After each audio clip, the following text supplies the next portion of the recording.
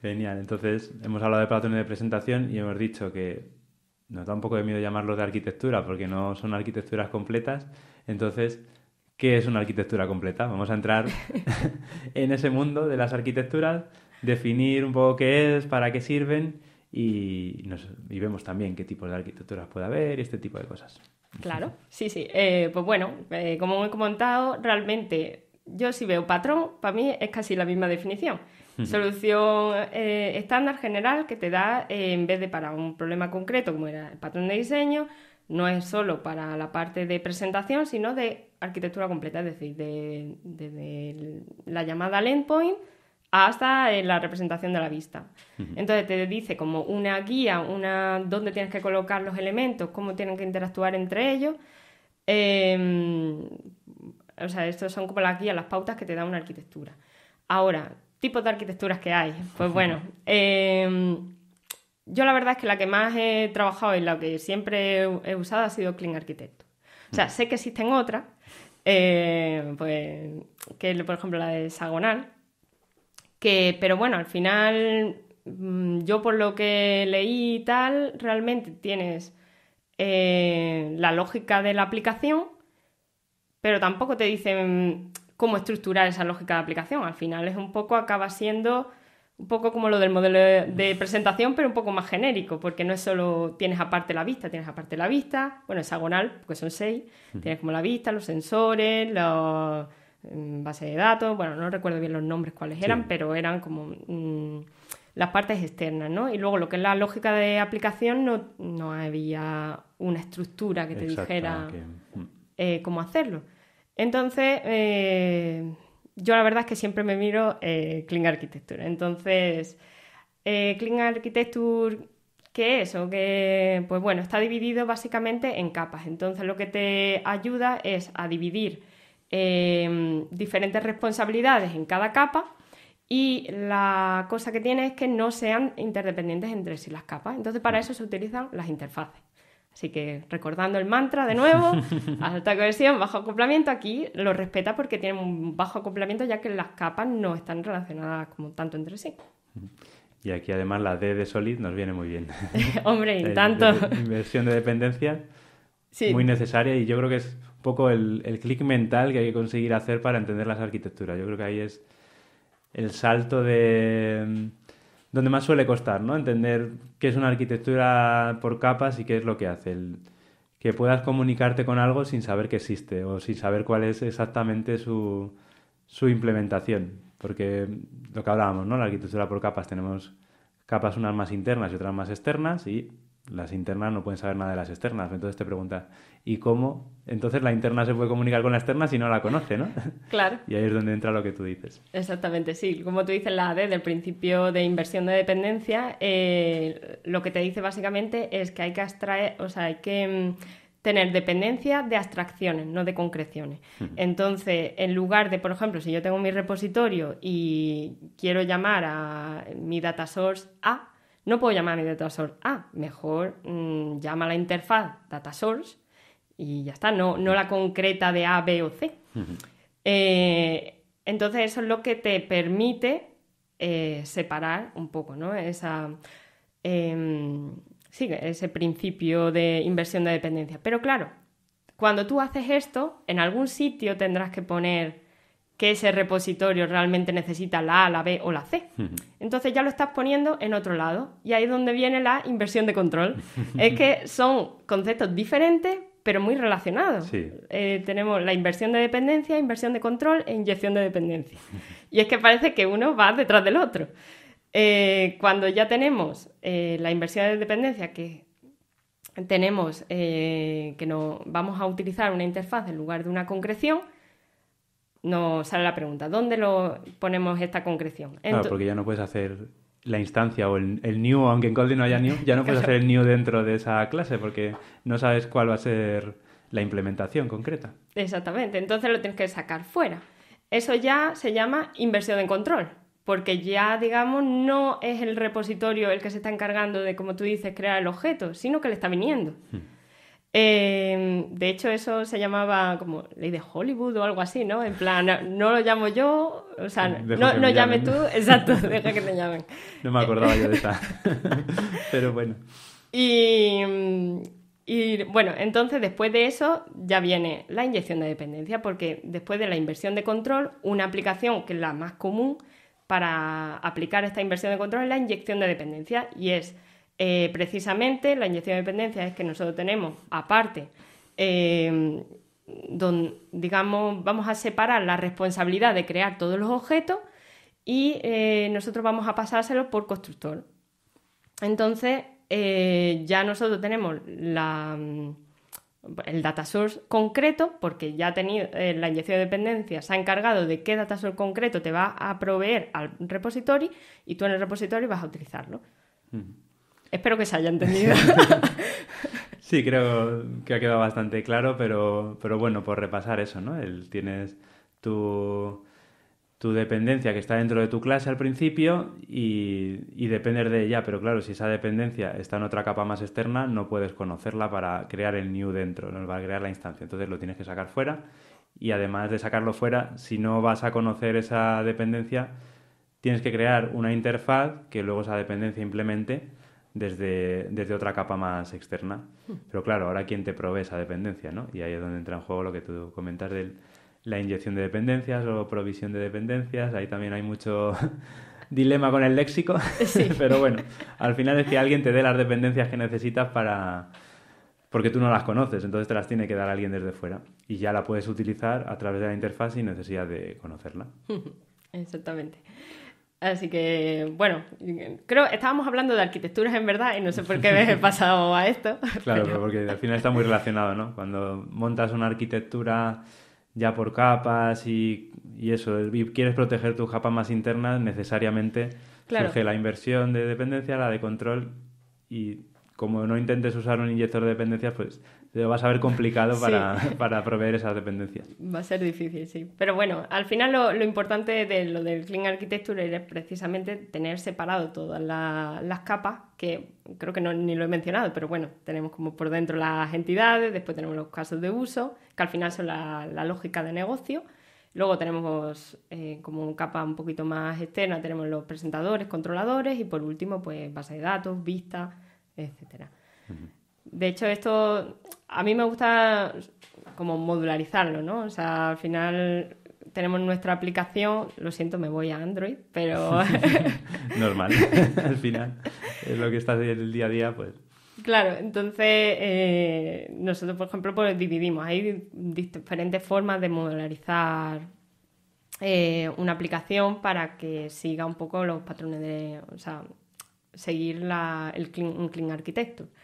Eh, por un lado se puede modularizar por, capas y por otro lado por features, ¿no? O sea, yo aquí, por ejemplo, si es un proyecto sencillo, pues lo modularía por capas, porque no, a lo mejor no tiene más sentido crear features, si a lo mejor solo tienes una feature en esa aplicación, pues, o dos, pues mejor. Entonces ponerlo por capas que ya que cada uno la llama como quiere y lo estructura como quiere. Yo normalmente la pongo como UI, domain y data. Donde domain ahí sí que está eh, siguiendo como la arquitectura está así de, mm, sí, del clean, eh, los casos de uso, los casos de uso y el modelo. Y tendríamos como en la capa de data ya eh, la implementación del repositorio y, mm, los data source, el servicio, la mm, base de datos eh, y luego la capa de UI, lo que es nuestro patrón de presentación, ¿no? donde tendríamos ya el, el view model, las vistas, activity fragment, etc. Además es que es interesante modularizar así al principio, porque yo creo que como la propia, la propia modularización te obliga a, gracias a la visibilidad de los módulos, te obliga a saber qué capas pueden hacer a otras y cuáles no, pues al principio que quizá no tienes tanta visión sobre cuáles son las... Eh, a, qué clases puede acceder cada una de las, de las capas, pues el que te haya una haya algo que te impida acceder a, las capas que no debes ayuda bastante. Pero luego sí que es verdad que en una aplicación grande pues escala peor. Entonces ahí entra el tema de modularizar por, por features, que si quieres contarnos un poco, o incluso cómo lo hacéis en, en Eventbrite ahora mismo, claro. en tu experiencia, cómo te parece lo más interesante. Pues, a ver, mm, nosotros lo ah, modularizamos por features. Eh, es decir, eh, nosotros tenemos eh, ciertas features y, dentro de estas features em, modularizamos por, por capas de nuevo. O sea, tenemos dentro de cada feature por capas. data, domain y UI. ¿Por qué lo hacemos así? Pues mira, yo te voy a decir, te voy a contar una historia de terror. una historia de, de, una de mis empresas donde estuve, porque esta empresa era mm, una empresa de producto, donde 100% producto, eh, pero luego eh, cambió el modelo de negocio y eh, pasó a ser una aplicación multimarca. Mm. o sea, nunca pensamos que eso iba a ocurrir, pero ocurrió. Entonces ya no solo teníamos nuestro producto, sino que teníamos que tener o sea, otros clientes utilizando lo mismo. Entonces, ¿cómo superamos esto? Pues mira, básicamente con tres cosas, que fueron eh, los flavors, eh, que es bueno, una funcionalidad de Android que te permite eh, mm, compilar, bueno, compilar más, ejecutar una aplicación como utilizando los paquetes, es decir, y a eso te permite tener varios clientes y ejecutar un mismo proyecto para varias aplicaciones. luego, con la tokenización, eh, y por último, la modularización. O sea, la modularización fue una cosa clave. Eh, de hecho, si lo hubiéramos tenido bien modularizado en nuestro proyecto, eh, nos hubiéramos ahorrado muchísimo, trabajo, muchísimo dolor de cabeza. O sea, pero te digo casi la mitad del tiempo. O sea, no, a lo mejor no tanto, pero sí que mucho tiempo. Porque entiendo que las distintas marcas necesitaban a lo mejor distintas, vamos, a lo mejor no tenían todas las features de la aplicación o unas sí, otras no. ¿Por qué os ayudó en ese caso? Porque nosotros al principio teníamos, en esa empresa, no estábamos tan orientados a modularizar. Había cuatro módulos, uno de network, otro de tal, pero como cosas genéricas y no, lo que es el grueso de la aplicación estaba todo eh, junto, ¿no? Eh, acoplado, ¿no? Entonces, eh, lo que empezamos a hacer fue dividir por features y dentro de estas features dividir por, por capas, UI, domain y data. ¿Por qué lo hicimos así? Porque, precisamente porque la regla de, negocio, que es la capa de dominio, se mantenía intacta a todos los clientes, pero claro, el look and feel, o sea, la vista iba a ser diferente. Una a lo mejor era roja, otra azul, otra verde, dependiendo de cada cliente. Entonces lo que hacíamos era mantener ese mismo módulo de domain y luego eh, crear a lo mejor el módulo de UI A, UI B, UI marca C. Y para data igual, porque el DTO y los endpoints a los que teníamos que tratar iban a ser diferentes.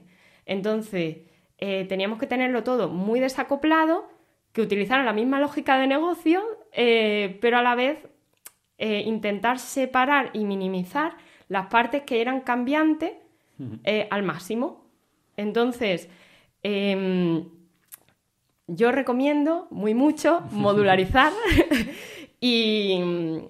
y, por capas viene, viene muy bien precisamente para esto. Ahora, eh, si es un proyecto grande, sí que lo pondría por feature porque incluso mm, hay features que pueden ser compartidas para dos aplicaciones, otras que no. Entonces también uno de los beneficios que tiene la modularización es eh, la velocidad, eh, el que pesa menos, porque a lo mejor si tienes tres aplicaciones y en una no vas a usar 10 mm, features, pues va a pesar menos, va a ser más rápido de compilar eh, entonces, el modularizar da muchos beneficios, además de conocer y mejorar tu código, hacerlo más desacoplado, mejorar también, evidentemente, los test, en fin, todo. Cuando modularizáis por features, luego la parte de separación por capas la hacéis ya por paquetes, entiendo. No hacéis módulos también de. Es decir, cada feature tiene tres módulos o solo tiene un módulo donde luego separáis por paquetes las distintas capas. Eh, no, tiene, o sea, dentro de, una feature hay tres módulos. Ah, son tres módulos distintos. Sí. Genial. Vale, eso ya era más curiosidad mía que otra cosa. sí, sí, está bien. Perfecto. Eh, y además, por lo que tengo entendido, yo tampoco he trabajado en proyectos grandes con modularización por features, pero tengo entendido que también en los tiempos de compilación, si estás trabajando en una feature específica, en los tiempos de compilación ayuda, porque si no, tienes que... Imagina que cambias algo en el módulo de, de dominio, de, tienes que recompilar el dominio de toda la aplicación. En este caso, lo recompilas el dominio de la feature en la que estás trabajando. Claro, sí, la, la velocidad por la que tú pruebas y todo, mm, vamos, mejor. Genial, pues una parte interesante que obviamente hay que pasar por todo lo demás para llegar a preocuparse de estas cosas, pero creo que es interesante también tenerla en mente. Sí, sí, vamos, de hecho ya te digo, nosotros nos podríamos haber ahorrado meses de trabajo mm, si hubiéramos tenido toda la aplicación modularizada para e, este caso. O sea que es más importante de lo que parece, porque a lo mejor uno se piensa que, ah, no, es que voy a hacer, porque voy a hacer clean code para hacerlo bien. No, es que te facilita la vida en cosas reales, en problemas que te pueden ocurrir. Entonces, yo ahí lo vi como muy claro. y luego tenéis a lo mejor módulos comunes, yo qué sé, el módulo de acceso a datos o alguna cosa así, ¿las tenéis como módulos comunes o cada módulo de datos implementa su propia solución para cada una de las features? Eh, a ver, hay cosas comunes que tenemos como en otro módulo, pero es cierto que queremos como que cada feature, digamos, tenga como su propia independencia. Es decir, si por ejemplo tenemos un módulo, no, un DTO, por ejemplo, hmm. coche, eh, pues si ese coche se está utilizando en varias features, pues no, vamos a reimplementar, o sea, a rehacer, aunque sea un poco repetitivo, que cada parte tenga su propio DTO de coche, porque a lo mm. mejor para la feature A el coche no necesita X campos, para eh, la feature B otros, necesitas otros y otros no, y así. Entonces, eh, también como que los hacemos más independientes un poco. Sí, entiendo que de hecho para independencia de las features necesitas eh, saltarte un poco el drive, pero con el beneficio de que hacer las las features más independientes y, y consigues el objetivo que quieres, ¿no? Que es que una feature pueda trabajar sin necesidad de la otra. Claro, exacto. O sea, que al final lo de los principios eh, tampoco están escritos en piedra. Quiere decir que más o menos, por ejemplo, el eh, don't repeat yourself me puede decir, oye, que te estás repitiendo es el mismo DTO en diferentes partes. Pero es que en este caso nosotros estamos primando más el, el que sea eh, bajo acoplamiento y que sea más independiente más que el repeat. Pero bueno, que eso ya es cuestión de, también de cada cliente, de, cada uno, claro. del problema que tengan, de dónde partan.